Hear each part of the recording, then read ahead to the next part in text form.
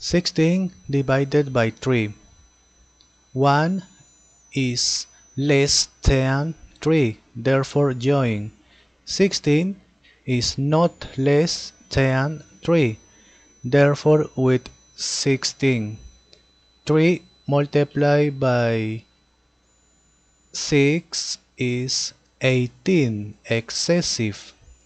Multiplied by 5 is 15 the closets. 16 minus 15 is 1. There is no number that goes down, therefore complete. Always complete with 0 and here with point.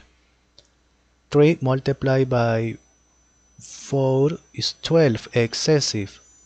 Multiplied by 3 is 9. 10 minus 9 is 1 always complete with 0 point only once. 3 multiplied by 3 is 9 subtract complete. Multiply by 3 is 9 this repeats. Therefore this number repeats 5.3 3 repeats.